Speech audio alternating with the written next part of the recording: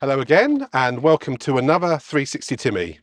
So today we're at, uh, well, where are we? Romney Marsh, isn't it? Yeah, Romney Marsh. Romney Marsh in Kent. Um, I've forgotten where in Kent we are. So there you are. That's a, that's old age for you. My special guest today is Dominic King. Uh, welcome, Dom. Hello, Tim. Uh, this is a, a real pleasure for me because uh, I went to school with Dom, and uh, I've been on his radio show many times over the years. I've, we've collaborated quite a bit. And this is the first time that I've actually got to, a chance to turn the tables and ask him a few questions. So, Dom is a senior broadcaster at BBC Radio Kent. He's been involved in radio, I'd say, over the last five decades, because we think about you started in the late 1980s, didn't you? That sounds so a it long is. time. It is five decades, isn't it? Technically. Oh wow. Yeah, I um, I think you know school was where it probably started, and uh, uh, I definitely had that bug even before you and I were at school together. From the age of eleven, I I had a friend called Matthew Pullen who um, absolutely loved radio like me. We had our we had our little names for each other as well. Um, they're almost like CB handles at the time. Remember? Not like Smashy and Nicey then. Yeah, well, it was a little bit like that, but it was like um, I think mine. I was called the Phantom Man, and I can't quite remember what his was, but um, we had those kind of. We loved all the CB type stuff, and uh, I suppose that was the first kind of communication for us. And uh, yeah, we'd then go down with our tape recorder and record things like the Donkey Derby in Folkestone, and do little reports. And I remember on the cassette tape, sort of recording what was going on there. So yeah, that was probably when the bug for just doing anything like reporting happened. But this all started initially with newsprint, did it? Yeah, journalism. yeah. Um, when we went to school at uh, Brockhill and St Leonard's, as it was then, uh, I had a maths teacher who uh, was just fantastic, and she um, she recognised when I was maybe writing within my uh, exercise book that I didn't necessarily get maths, I didn't understand it, which is really ironic because in the world I work in now, maths is every part of it but at the time I did just didn't understand maths. But what I did understand was writing, and she said that I'd written really well in my maths textbooks. So she had, I think it was her husband who was a publisher um, of a young people's newspaper called the Early Times. They were published at the time out of Brighton, and she said uh, maybe you'd like to write for this paper. And it was as simple as that. And I remember her vividly bringing in, I think, a copy of the Early Times and putting it in front of me. And from that moment, I became part of this international group of young kids called the Press Gang. While that TV show was going on on ITV at the same time, by Dexter the way. Fletcher. That's right. And it Julia was- Sawalha. Yeah, and the producer was a Doctor Who producer. Um, oh yes. Um, was it uh, Chris Chibnall or uh, uh, one um, before that. Um, Yeah, I know who you mean. Yeah. and um, and uh, basically, um, I started writing for this young people's newspaper, and it took me all over the place and interviewing people. My first interview with not far from here, actually, we're not far away from where he lives now and where his constituency was, the Folkestone and Hythe MP, uh, Michael Howard, now Lord Howard. Um, was one time Conservative leader, and I bizarrely been interviewing him since I was 12 years of age, and I still interview him now. crikey. So I'm 48. so a long relationship with him over the years, and uh, he was environment minister in Margaret Thatcher's government uh, when the Channel Tunnel was being built. And I, my first ever interview, because I lived in Cheriton near Folkestone, was asking him about the construction of the Channel Tunnel. And we have to remember back then, you know, there'd been a few accidents that had happened in the construction. Um, a couple of construction workers, I think, had died. And it was kind of, you know, a really key part of the story of the rebuild, the Channel Tunnel coming to Kent. It certainly did cut through the countryside as well, didn't it, in terms of uh, construction? Yeah, and like in, inevitably, like all these projects, you know, there's the people who are for it because it would change travel. I bizarrely had a situation where my dad, who was a cross-channel ferry worker, was a quartermaster, totally against the Channel Tunnel. Um, I, I'll be honest with you, I didn't even go on the Channel Tunnel until he died, just because I was so worried about telling him that I'd gone on the Channel Tunnel to go over to France. yeah, we don't bat an eyelid now, do we? I No. remember the no tunnel signs and everything. So that also led you to meet some famous people. So you had a infamous trip to New York. Yeah, that was uh, hello. That was quite something. So in 1990, as part of working initially for this young people's newspaper, um, they wanted uh, a couple of kids to go over to the World Summit for Children in New York um, at the United Nations. This was huge, obviously, and but but to that point, I'm 15 now. I'd already been working for the Early Times for three years, and I had been writing articles and I'd interviewed, you know, people like Genesis, the band, and I'd interviewed all sorts of um, interesting people like Imran Khan and uh, things like that. So I um I ended up going to uh, New York to the World Summit for Children, and it was part of a BBC TV program. So it was a cross between the early times working with BBC TV, and Michael Buerk was presenting a program called Nature on BBC Two, and part of that program, which was all about the environment, was to look at the environmental side of this World Summit for Children. So you've got to think of things like uh, what was happening on the streets of Brazil, what was happening with the Yanomami tribe in the middle of Brazil, um, in the rainforest, and things like that. So that's what happened. And I found myself on the plane heading over to New York, 15 years of age, interviewing presidents and prime ministers, um, goodwill ambassadors, celebrities being amazing, you know, people like Peter Ustinov and, as I say, Imran Khan and people like that. And uh, and also the ambassador for UNICEF, I believe. Yeah, that was a that was a strange one. So one of the one of the goodwill ambassadors, there was Peter Ustinov, Julio Iglesias. Um, I want to go into singing there, Tim, um, and Imran Khan. But the fourth one, I was interviewing all these people, and literally, Tim, I had a I had a cassette recorder that I was recording for myself on. I had a notepad and a pen, and I was writing down stuff. And then I had the BBC film crew following me, and the other press gangers. One of them um, was uh, Nkem Onyedor, and Nkem I keep in touch with to this day. Um, the other one was an American called Monica Tarazi, and the other kid who was 13, I think, uh, Stan Bright. So there were four press gangers, but it was Nkem and I who really, I guess, ended up being the face of the whole program because it was Nkem and I who did the pieces to camera. We had to go to Harlem to do a visual shot looking back at uh, the UN, things like that. And one of those uh, interviews was with this ambassador, goodwill ambassador. And I walked into the middle of this room, and there were a lot of people around her. And I started asking questions. I was really kind of thrown in by the producer. I didn't really know who it was, to be honest with you. All I was told was she's an actress and she's very famous. But ask her what you think. And they were very free and easy. They didn't guide us on any of the questions. They literally said, ask what you would want to ask. Well, in my brain, I was a journalist you know, in my brain, I've been doing it for a, you know, a young age, like the Donkey Derby in Folkestone, for goodness sake. um, so I went up to her and all these film crews from the likes of CBS and NBC and newspapers like USA Today, if you remember that, and yeah. New York Times. And I went up to this lady and she looked amazing. She was all in white. I remember her being completely dressed in white and I said to her, if there was anything for children that you could do for the children of the world, what would it be? And she just said two words create peace. That might sound not much of an answer, but actually, when you think about it, it's a huge answer because saying that, hello, saying that is all encompassing, isn't it? Yeah. I walked away from talking to her. And the producer was pretty pleased. And I said to her, So who was that?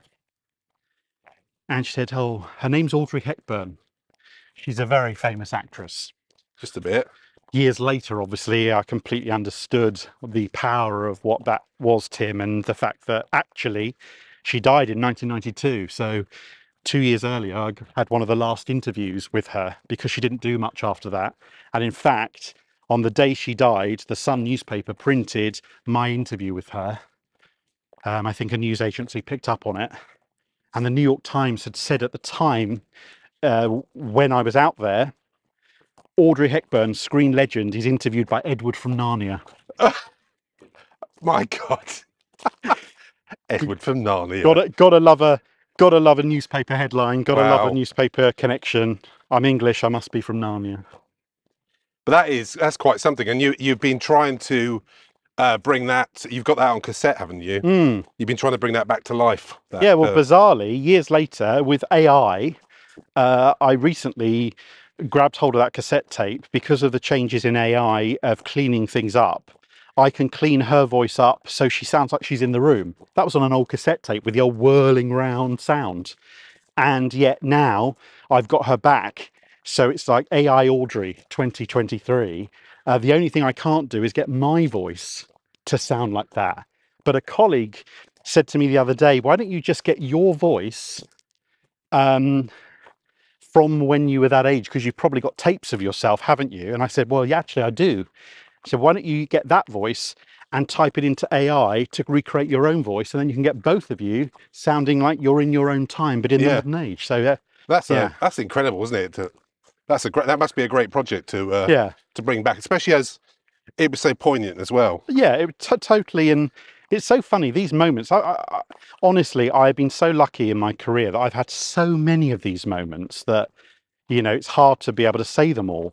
But you know, whether it's interviewing, particularly like uh, presidents, and you know, I had uh, um, an interview with the president of Brazil during that trip, and the TV production team told me to ask about the environment because obviously that's what the program was about.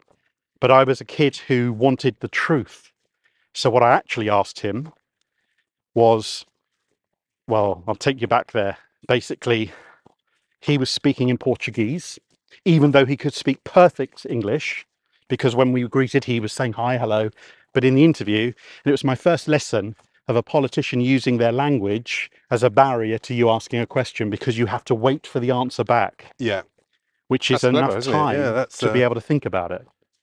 But my question to him was Mr. President, Amnesty International this week have revealed that sections of your police task force have been killing children on the streets of Brazil as part of a cleanup operation. Well, the look of horror on the BBC producer's face when I asked that question, and the look around the room of what has he just asked the president? And President Fernando de Collor of Brazil looked at me and kind of sideswept the question. Didn't, I have to say, the handshake at the end as a 15 year old seemed a bit harder than I was expecting. But I knew I'd ask the question. He didn't really give a good answer, but I'd ask the question. And sometimes, and I've learnt this in my career, asking the right question is more important than getting the right answer.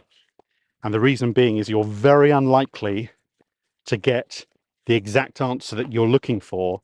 But if you ask the right question, then the audience knows that you cared enough to ask the question that they were probably shouting at their TV screen, radio. How the person answers is often a great example of who they really are. yeah. That's it's uh, it's quite interesting. Yeah, I don't think people appreciate that that skill. So, how did you progress from the print journalism into into the radio as you are today? What was the journey there? Well, I got to about uh, 19 when the early Times said to me, I'm really sorry, Dom, but we've been faking your byline for about a year now. You're, you're, you're 19 and we've been saying you're 18. You can't really work for us anymore. We can't really send you on these because you're not really a child anymore. So you need to uh, basically stop. I said, okay, which was funny because I loved all of that, you know, and I really enjoyed writing for the newspaper. Um, so at that sort of time, around about 15, funnily enough, I just started really doing hospital radio and I went along to the Royal Victoria in Folkestone and they had a hospital radio team there. And I started recording, going out, doing bits for them. And uh, they had a program called uh, Down Your Way, which was running all these cables all the way through the hospital on a closed wire with a pair of headphones and a microphone. And I watched the presenter, Steve, do it every week. And I loved being part of the idea of being part of that show. and I loved watching him present on the air, and he was very good. And um, sorry, there's amazing swans here. There is, and they're beautiful, aren't they? And um, I uh, started doing that, Tim. So I just got the bug, I think, at that point, and I then did com- community radio. I was a big player in the local community radio scene in Dover and Folkestone. And this nightclub owner called Eddie was running loads of nightclubs, um, but he also was running uh, uh, radio stations, community stations. So I got involved there. Then I did my own radio station in Dover called Coastline FM.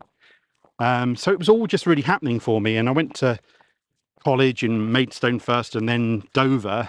And I think it was really in Dover when I was starting doing these community stations even more that I realised I really wanted to do it. I had a bit of work experience at uh, Invicta Radio as it was then. Yeah.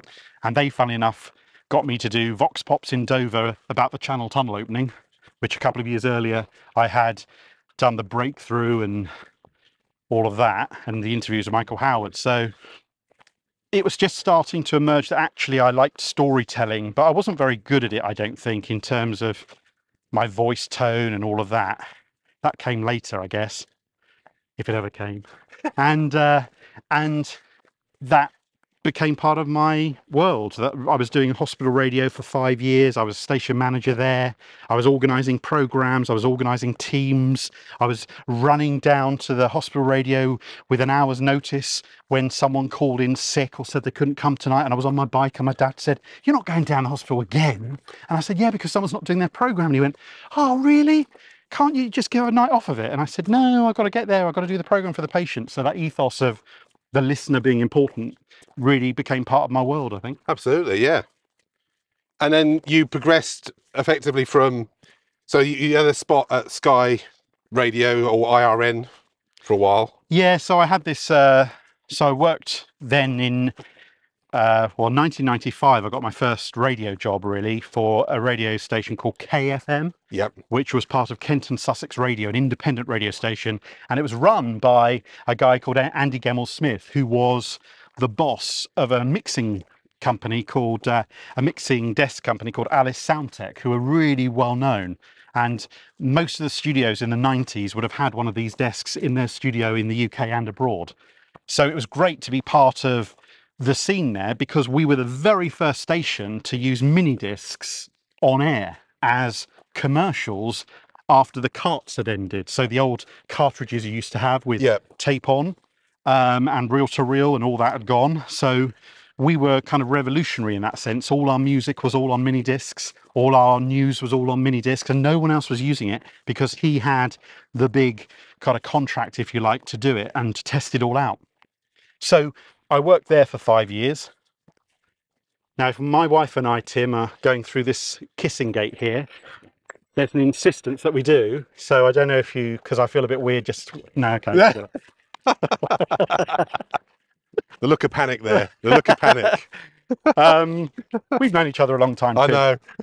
Um, so yeah, so I worked there for five years, and then around about 2000, there was this crossroads for me of I was really friendly with the guys at um, Independent Radio News, which is the radio wing of ITN, still exists today, and Sky News Radio just started up six months earlier, um, and I had this kind of contrast between going to IRN they invited me. The editor said, Would you like to come work for us?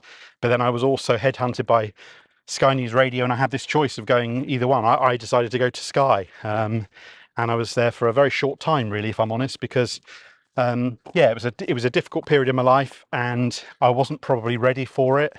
And I don't mind saying I had a uh, a breakdown um, at that point, uh, working at Sky, and um, I just didn't know what to do because my whole world since I was 12 was all to do with this world of broadcasting and it kind of went a little bit wrong for me and um, I you know a few things happened at Sky that just meant that I felt like I couldn't work there anymore and I was getting up at silly o'clock in the morning three o'clock in the morning leaving seven Sevenoaks to get there for a six o'clock shift to Isleworth and it just wasn't working for me. I was only in my 20s really so you know I just had to make a choice. But you know what? Actually that rebuilt my world and I had stuff that was going on behind the scenes in my own life that was really the cause of that as a kid growing up. So for me, that was a kind of moment, a real sort of taking stock moment. So I always think whenever I hear someone say, Oh, I'm having a difficult time or I'm having a rough time in life, you know, you've got to really listen to those people because often even the people you think are completely on top of everything and look like nothing's going wrong in their world, often there always is something that we're all dealing with because we're all just humans, you know. I guess also, I mean, you you look back on things where they went wrong, and you you, you probably think back now. Well, if it, if it, if I'd stayed there, would would I have had the opportunities I've got now? Yeah, and you know what? I, I wouldn't have met my wife, you know, and I wouldn't have probably came here Yeah, to live on the Romney Marsh, which I absolutely love. So these things happen, and sometimes I think you put so much pressure on yourself as a youngster to achieve that you forget to live. And I was definitely doing that, definitely, without a shadow of a doubt. So it actually worked out really well for me because I then went freelance for, uh, well, it took me six months from the moment of actually having a proper full on breakdown. And I mean literally not being able to know whether I was coming or going and all the rest, to then rebuilding myself to do freelance work as a reporter and working for local local stations. And then went to work for Kent Police as a press officer. And it was during that time, six months with them, that a brand new office was opening in Tunbridge Wells for the BBC. And I one day fired off an email to the boss of the TV and radio station and said, I want to get back into radio. I love what I'm doing with Kent Police, but I've got all this career beforehand since I was a kid. I would love to come and chat to someone. Went in there to the office, had an interview, and I've been there 22 years. that's amazing. And that was just the right point, was it? Because that so that's when Radio Kent. Because I think back then there wasn't much of a TV presence in Kent for the BBC, was it? It was We uh, had London, London Plus, wasn't it? we I had think? Newsroom Southeast that was based out of Elstree, Yeah. BBC Elstree, which covered Kent, and BBC Radio Kent was in Chatham Sun Pier. So I worked two weeks in Chatham in the old radio hub there, which was lovely because it's a very nostalgic place for us all still. And then two weeks later of joining in 2001, in February of that year, we then moved over to Tunbridge Wells to this purpose built, brand new, high tech radio and television and online service, which was really thrilling for me. So, in a way, all those little movements, all that experience, the the the highs, the lows, obviously meant to be. It was Yeah. the right time, and I had a fantastic beginning of my time at the BBC. You know, working with some incredible people, and lucky enough that even you know today I still work with great people, and you know, our one aim is to tell people about their own lives that they themselves are the complete architect of because it's their stories that we just cover. And you've certainly done your fair share of different shows over the years. So I used to wake up um, and look, watch breakfast TV, and then when it switched over to news from Southeast for the bulletin, you'd have a segment at the end introducing your show when you were in the mornings. Yeah, well, I, I did mid morning for a year. Um, I did uh, the drive show for 16 years. Um, I recently been presenting an arts program that lasted five years um, and got new things to happen later this year with a new show, a daily show. So, yeah, it's all very exciting. And the one thing about broadcasting is that for me, it's never been about where I am, it's what I'm doing. Yeah. I've never been worried about whether I was the presenter of a breakfast show or a drive show or an art show. I had such a great time doing the art show in the last five years through the pandemic. Amazing. Um, it's about what are you doing? Whose story are you telling? Am I still the kid who was able to ask the question of Audrey, not knowing who she was, and still ask the question that I think is important? Yes, I am. And I treat every day, Tim, like it's the first day I've ever walked into a broadcast environment. I, I'm a kid from Dover who feels so lucky that people have given me a shot at something I love doing. I'm never, you know, I don't, it's really weird in this industry because I don't know how interesting this is to other people, but there is a real sense that sometimes because you on the outside seem to be good at what you do or successful at what you do or whatever, that you yourself don't think about how lucky you are. Yeah. And I know pretty much all my colleagues who I, you know, have a lot of time for will feel the same. There's this imposter syndrome that happens across the industry and it happens across the arts actually whether it's an actor i speak to the amount of actors who have used me as their therapy uh, partner after we've done an interview to basically say cool this is uh, a weird environment isn't it? Because you put yourself up against live whether it be on a stage or on a radio and you know this is a lovely doggy come to see us. Hello. Hello. I never, never had a dog come along before. Hello. Nice to meet you hiya Hi, sorry, the recall's not there yet. No, it's all right. That's the same with me.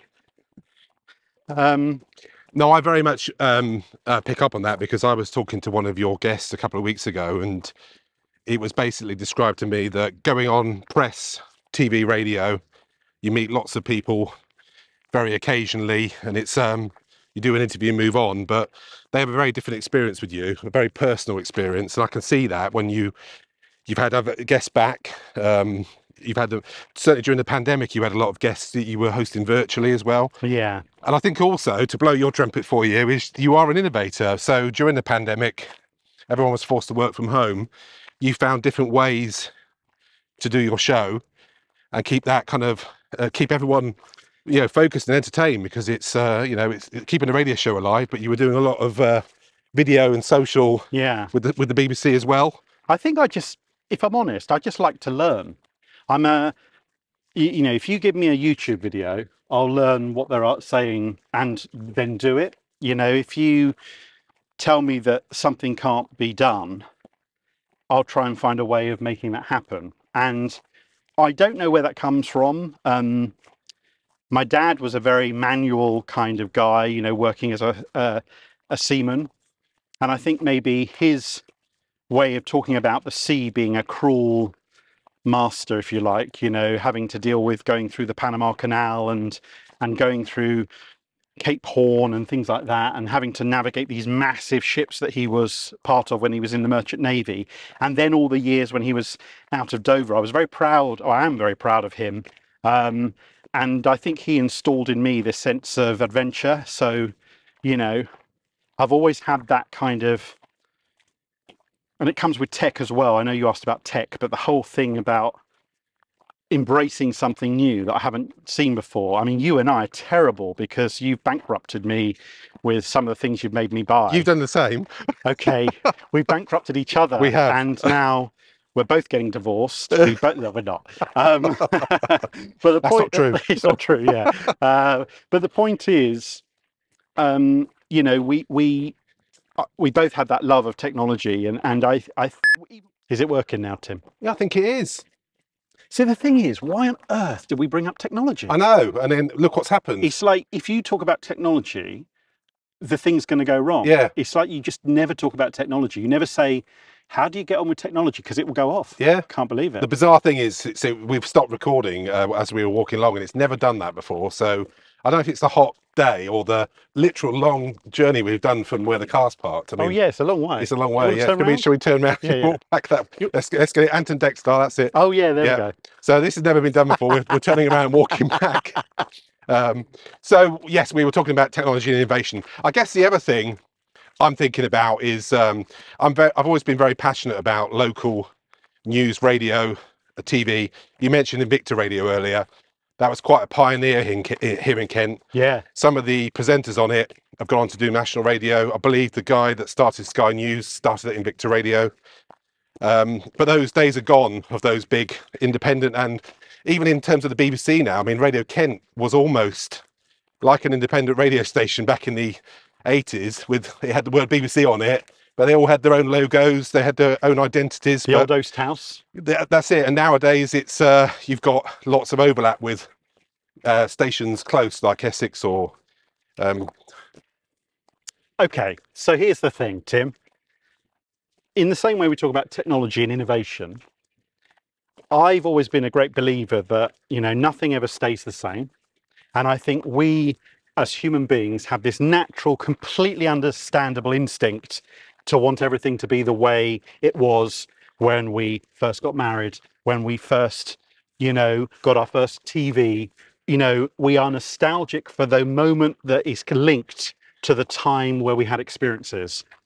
So what actually happens, and maybe someone would li- listen to this say that's not how I feel, but I think that what happens is we find it very difficult to not have the things the same. But nothing can stay the same No. And we only grow and we only move forward if things change. Um, and yes, you know, you're talking about something happening at the moment where the BBC is doing massive changes to local radio, and it is a different thing, and it is going to be slightly different how people hear it. But I worked in commercial radio when that changed from a kind of 1980s heyday Yeah. into the 90s, where it was a very different. Yet you're talking about something now, which was in the 90s, that in the 80s people would say, oh, it's all very different now. Yeah. So I think it's evolution. Sometimes things don't go quite well and maybe they make a mistake, but most of the time it's about keep going forward. And I think there's a danger that we we we believe that people are not adaptable enough to embrace change. I mean, how much do you physically love the fact that you're driving a very cool modern car and the fact that we're recording this on this most amazing camera that you and I would not have been able to see in our you know lifetime Yeah. we're talking on the very same day that Google is 25 years old today Crikey, I didn't know that. you and I will both have remembrances of going to Cheriton Library or the Grace Hill Library in Folkestone and using microfiche to find an article which we then had to zoom in on. Yeah. And yet I can get that in my back pocket now and find out instantly a question to why did Tim's camera stop in the middle of our recording? And because we spoke about technology, that's why, uh, because that was something else. I So, think AI you know- detected we needed to go to the pub after this and let's turn this around. I think that's what ha- has yeah, I think you're right. No, so so so I think change is hard, and I think we all have, you know, difficulties changing. You know, I've had so many changes in my life that you know hasn't always been easy, hasn't always been rosy. Um, but you have to try and put one foot in front of the other, I think. And in the modern age of broadcasting, people are just not experiencing it in the same way. People are watching it differently. You know, people are watching it when they want on demand. They're not watching it to a TV schedule anymore. So all of those things are different. And I think that's really what's happening with radio too. It's just changing to a different way of how the consumer is reacting. Yeah. Yeah, so this year's been quite an upheaval on the national front, I mean, and as you said, with the BBC locally as well. And but what's what, that, that's that's not just in radio, is it? There- There's been a quite a bit of restructuring in BBC News as well. There's been changes of you know the way they do the split between world news and UK news, I believe, as well. But also, Tim, you work at Sky. You know, there there have been changes there. Your your your breakfast presenter is just changing. You know, things happen. Yeah. You, you know, things happen to embrace different reasons, different technologies, different ways of the consumer taking on board.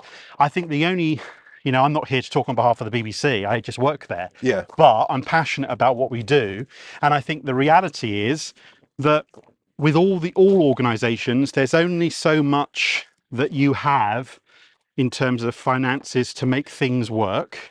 And I often think that an organization like mine, which I love, and like every organization, has its ups and downs, has its flaws, has its difficulties. The bigger the organization, the more likely that is. But the reality is that because I think we love the idea, some people might not, but I think if they really ask themselves, do they like the idea of Auntie, the BBC? I think they'd hate to see it completely disappear. And I think because of that, we're also the target often of a lot of people on the other sides wanting to capitalize on that.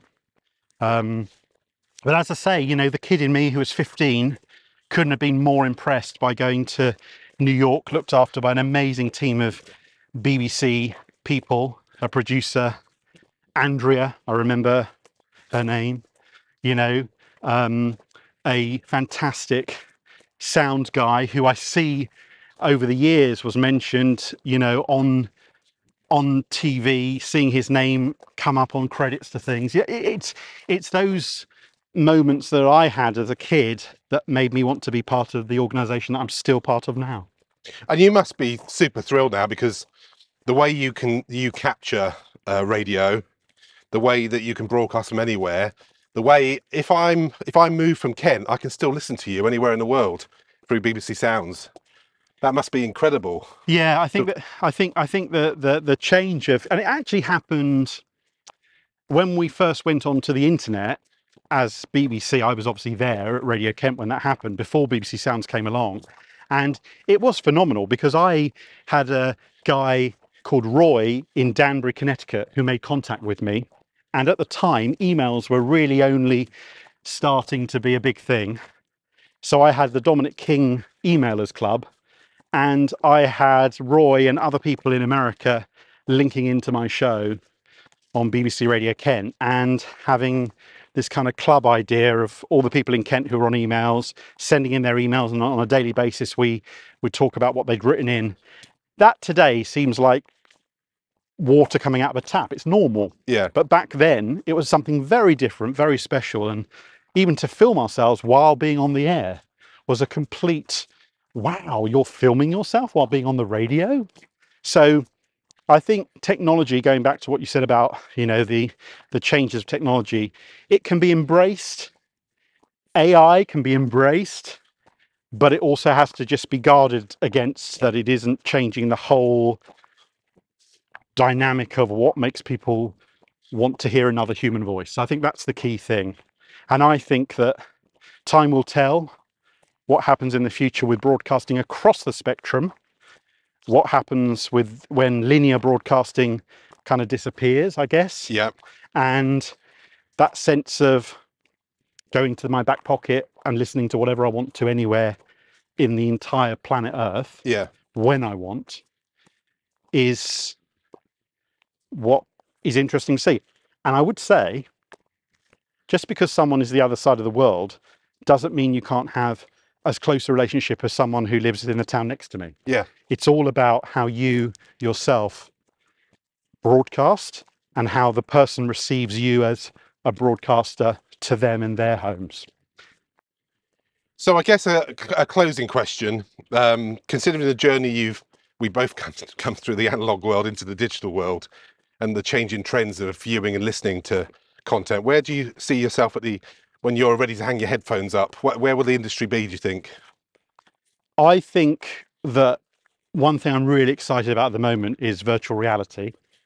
Um, potentially mixed reality as well, but I think virtual reality is right now the kind of new ground where when people are able to put the headset on and mask and be able to transport themselves into worlds which as broadcasters we could really start to create and i'm going to tell you something i haven't said to anyone We need a kissing gate again as well. we are near the kissing gate we are near the kissing gate I'm nervous. I'm nervous.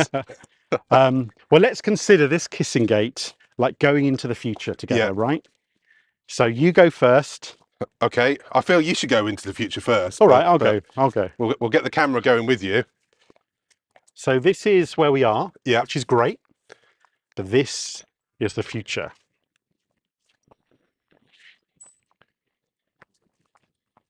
oh guess what it feels the same Uh, yes. because that's the point it feels the same and i think that you know when technology happens it's a state of mind that you yourself feel how you feel which is why we're nostalgic for things that have happened in the past.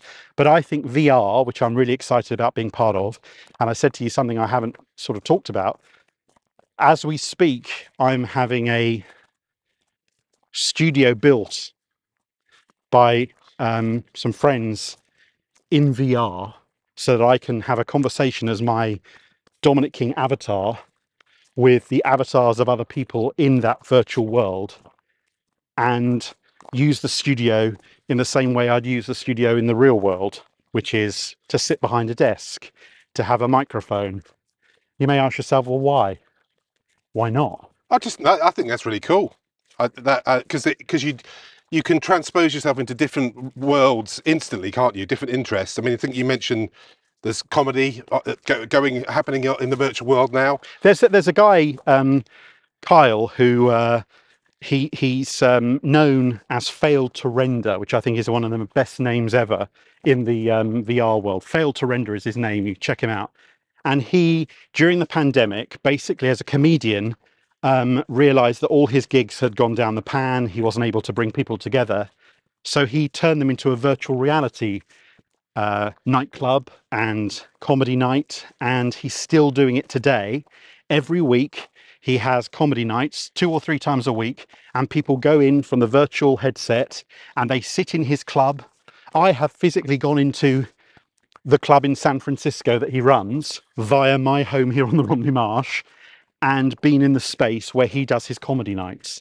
And it has become a really big thing. And it just strikes me that we're always wondering where the next big thing is. The next big thing, as you know in the world you work in, Tim, often can take a decade to, to actually become the next big thing. Yeah. So VR, you'll read loads of stuff about it where they're saying, "Oh, it's not really going anywhere. This is not really happening. Zuckerberg's not doing this or that." You know, Apple coming in with a Vision Pro, all these things. But the reality is, I've only been in it three months, and I've learned so much in three months because that brain of mine that loves to learn new things has already taught myself how to be part of a, another world. And and when I sat there with some young guys who basically said, What do you want to build? And I started being the architect with them of my new studio in the VR world. And I'm physically watching them create blocks that become desks, that become studios. Or I said to them the words, I want the other studio to look like Abbey Road. And they suddenly put in a, uh, uh, uh, carpet, that kind of music studio red carpet that you know that all the bands would be standing on to deaden the sound. And it's just amazing. So the future is whatever we want it to be. And I'm a great believer that we should try as much as possible to embrace change, embrace potential, because there was a time when people would have said most of the stuff we now take as a commonplace thing every day would not be possible and none of us would be excited about it. Yet we are, we do things, not always great, but giving it a try is good, isn't it? Absolutely. So I think uh, our next interview may well be in VR space. Yeah. I think you just need to work on having some legs though, because that is one thing I noticed with avatars in in, in Meta Worlds. You don't have any legs at the moment, do you? So that's uh, No, no, they don't they don't seem to want to give anyone any legs. But um I think there's something kind of quirky about that. That's, Yeah. Uh, pretty groovy. yeah, it, there- there's something about floating around with your with with just you. I don't know. It's um it's strange.